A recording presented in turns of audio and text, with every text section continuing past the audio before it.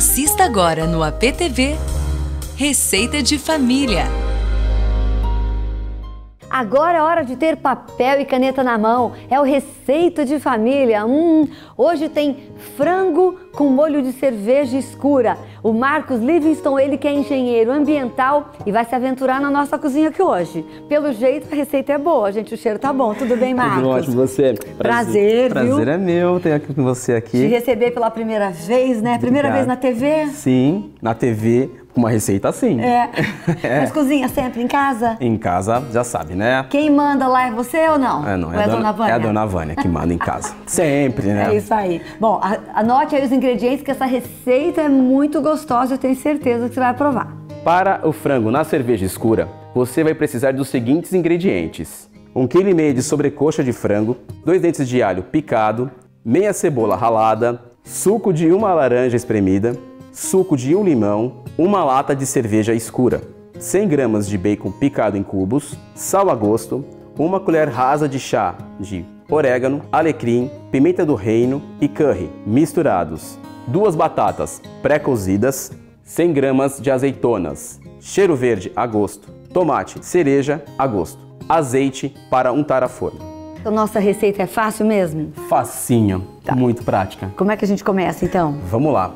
Você vai primeiro pegar o- a, a cebola já ralada, Tá. meia cebola ralada, e vai disponibilizar ela no recipiente. Tá. Da mesma forma, dois dentes de alho já picados também você já vai colocar junto. Tá. É tudo junto. O alho, a cebola. Tudo junto. Tá. O suco de uma laranja, Certo. o suco de um limão. Ou deve ficar bom isso, hein? Olha, vou te contar, hein? Aí no caso aqui, você já vai colocar os temperos misturados. Eu fiz um mix aqui, legalzinho. Você tem o sal, sal a gosto. Tá. O bacon também você vai colocar junto. Meu Já Deus, cortadinho. cortadinho em Ah, é? Ele vai assim? Vai assim. Entendi. Misturou aqui um pouquinho. Já Tá. deu uma liga. Ok. Aí O cheiro bom, hein? O cheiro tá ótimo já. Aí sim que veio o pulo do gato. Qual é o pulo do gato? A cerveja escura, meu Deus do céu. Oh, De preferência uma cerveja que não seja muito doce, tá? Porque tem umas Entendi. mais do- adocicadas. tem uma menos doce, mais doce. Isso. Você adiciona aqui e dá aquela mexida. Tá. Adicionou, deu aquela mexida, você viu que já deu aquela reação básica. E aí é só você colocar as poças de frango, os pedaços de frango de sobrecoxa aqui no caso. Tá tudo limpinho, Tudo limpinho, já, já, lavado, tudo prontinho.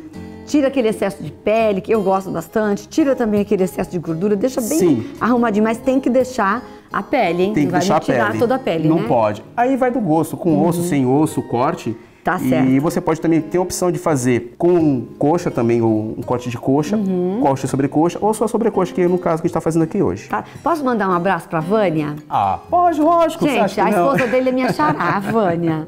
Uma simpatia. E pros filhotes também, né? Também Tem pra- dois lá, como é que Tem, eles chamam? A Larissa e o Matheus. Beijão, Larissa, Matheus, viu?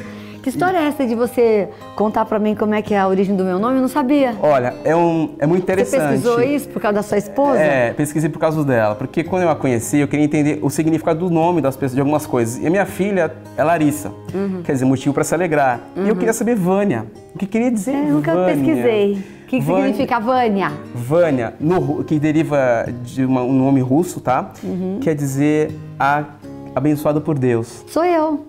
Agradeço todos os dias, abençoadíssima Com por Deus. certeza.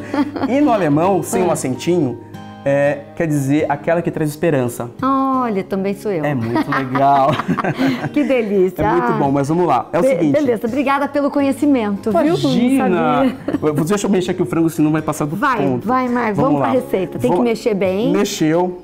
Me dá uma mexidinha aqui. massa, pode isso. mexer um pouquinho. Feito isso, Ah, vai pegar o papel alumínio. tá. Um Agora acho que é melhor eu te ajudar, Por né? favor, que minha mão tá. Olha isso. Fechou e vai pra geladeira por 6 horas. O único cuidadinho que você tem que ter é que realmente faça um dia antes e deixa na geladeira. O ideal é deixar Isso. dormindo lá de um Deixa dia pro outro, dormindo, né? isso. No mínimo seis horas, 6 horas, perfeito. tá? Vai pra geladeira? Vai pra geladeira. Abre pra mim, eu te ajudo. Claro, vamos lá. Televisão é tempo e a gente já tem Sim. o nosso marinado, né, Márcio? Sim, já tá prontinho. qual é essa etapa agora? É só montar? Vou É a montagem aqui. do prato, isso mesmo. Hum, cheiro tá bom, hein? Vamos pegar aqui um, um apanhador aqui pra gente montar Tá. já na forma. Então a gente vai pegar o que já tá aqui marinado. Deixa eu ajudar ele a espalhar Por favor. frango aqui. Faz uma bagunça junto comigo, vai. Aí. Aproveita aí, vai. Ajuda o cueca na cozinha aí. A gente vira isso aqui tudo aqui. Ah, é? Isso, é isso que vai, Entendi. vai virar aqui. Virou. Hum. Nossa, Feito isso, que delícia. vamos colocar aqui pro ladinho aqui. Deixa aqui de lado, põe pra cá pra não te Temos atrapalhar. as batatas pré-cozidas. Tá. E aí você coloca na bandeja. Você joga elas aqui conforme Na travessa, na assadeira. travessa, o que você- assadeira. Onde você tiver. Sabe o legal? né? É, o detalhe depois você dá uma irrigada nela com o próprio molho, Entendi. né? Pega a entendi. colher, eu dou uma afogada na batata. Por quê? Entendi. Pra ela pegar, um Pegar sabor. algum sabor, né? É. E aí você pega a colher, dá uma irrigada, ou até afunda seja, um dá uma pouquinho elas, uma afundadinha nela, fundadinha assim. nelas. Isso. A batata é sem sal, tá, gente? Detalhe importantíssimo. As azeitonas, você espalha também conforme o gosto. Tá montado o prato. Pôs o papel alumínio e aí Forno. fechou forno Quanto duas tempo? horas. Duas horas? Uma hora com papel alumínio fechado, cobri- cobrindo ela. Uhum. Depois mais uma hora ela aberta para secar, para dar aquela dourada, para ficar aquela cara linda que Ai, ai. eu já estou com fome. Vamos pro forno? Forno! Já. Saí. Vamos pro forno.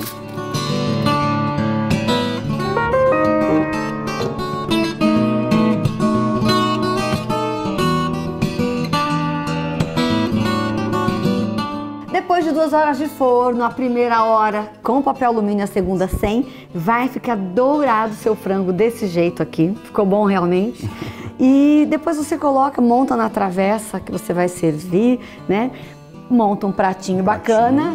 Agora é a hora do vamos ver, né? Ai, ai, ai, Marcos. Ai, ai, ai. Hum, olha só.